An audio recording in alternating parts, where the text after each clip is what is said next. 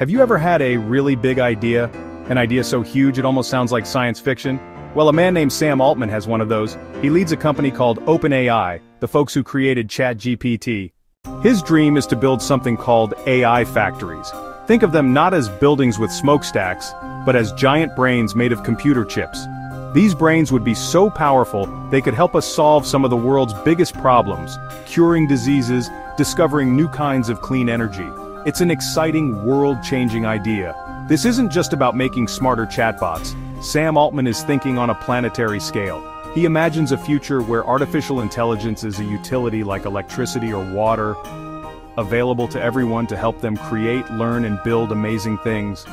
To get there we need computers that are millions of times more powerful than the ones we have today. And building them is a challenge that's bigger than anything we've ever tried before. It's a big, big plan. And it all starts with a single powerful word, gigawatt.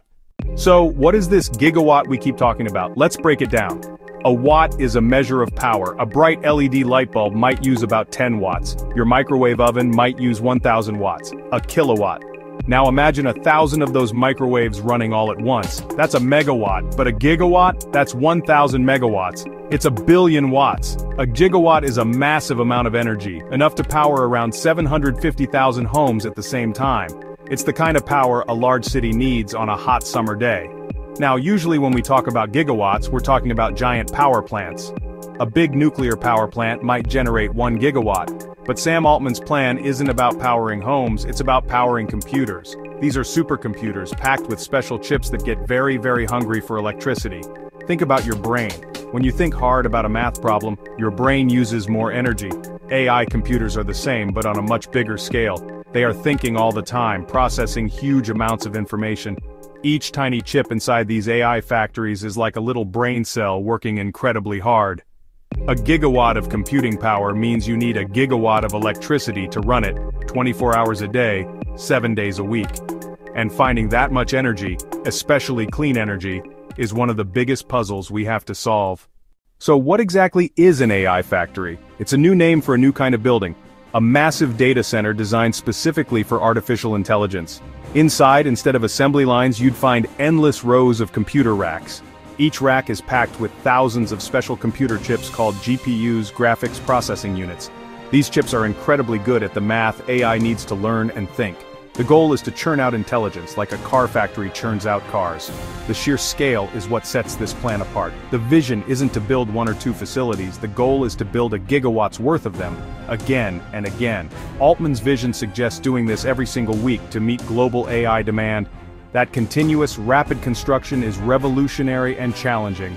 It requires a perfectly coordinated supply chain, you need a constant flow of computer chips, servers, cooling systems and all the other parts for a data center. You also need land to build on, and construction crews to assemble it at lightning speed. It's a logistical ballet on a global scale. Every piece must arrive at the right place at the right time week after week. More than anything, this shows a shift in thinking. For a long time the limit was software, the smarts. Now the bottleneck is hardware and the energy to run it. The AI factory plan aims to smash that barrier. You can't build an AI factory without the engines that make it run. In the world of AI, those engines are GPUs. And the king of GPUs is a company called NVIDIA. You might know them from video games, but it turns out the same processing is perfect for training artificial intelligence. Their chips are the powerful brains inside almost every major AI system today, making NVIDIA one of the most important companies in this revolution. Sam Altman's plan needs millions of these chips. This is why you hear about companies spending billions of dollars just to buy them. Nvidia is investing huge amounts of money, tens of billions of dollars, to design even more powerful chips for the future. This creates a powerful partnership. OpenAI has the vision, and Nvidia has the tools to build it. To get a sense of just how big these AI factories can get, look no further than a project with a very cool name, Stargate. This is a rumored collaboration between Microsoft and OpenAI, and the numbers are, honestly, mind-boggling. The plan is to build a single, gigantic AI supercomputer facility that could cost as much as $100 billion. That's more money than was spent on the entire Apollo program that sent humans to the moon, even when you adjust for today's dollars. This isn't just a data center, it's a new wonder of the modern world. Stargate is planned to be built right here in the United States where there's access to land and power. The project would be rolled out in phases over several years, with the final phase projected to require an astonishing 5 gigawatts of electricity. That's the equivalent of five large nuclear power plants all dedicated to running a single computer. It is a high-stakes gamble that could accelerate human progress in incredible ways. This brings us to the biggest question of all.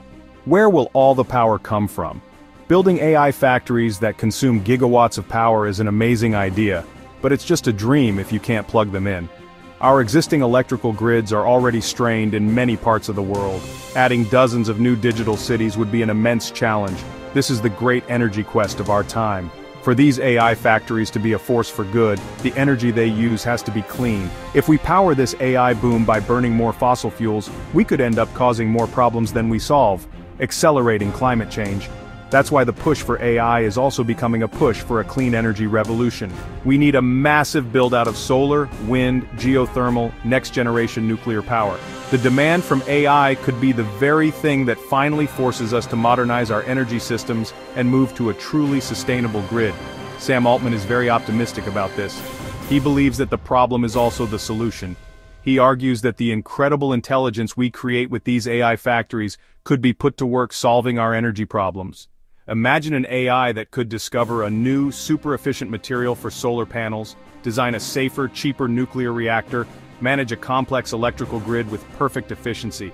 By investing in AI, he argues we are also investing in the tools we need to achieve energy abundance for everyone. So, is this all just a wild dream, or can we really do it? The truth is nobody knows for sure. The challenges are enormous. It will require unprecedented levels of investment, engineering, global cooperation, but human beings are pretty good at tackling huge challenges when we put our minds to it. We built canals, we built railways, we went to the moon. Building the energy and computing infrastructure for the age of AI might be our next great project. It's a journey into the future, and it's happening right now. Construction is beginning on renewable projects. Science is all about asking what if. And this is one of the biggest what ifs of our lifetime. With powerful allies and unprecedented investment backing the vision, projects are already beginning in places like Texas. Sam Altman has once again set a vision so ambitious that the world is left wondering, are we truly ready for a gigawatt a week? If it works, OpenAI won't just be training larger models, it will be at the center of a historic transformation. Let's see what happens.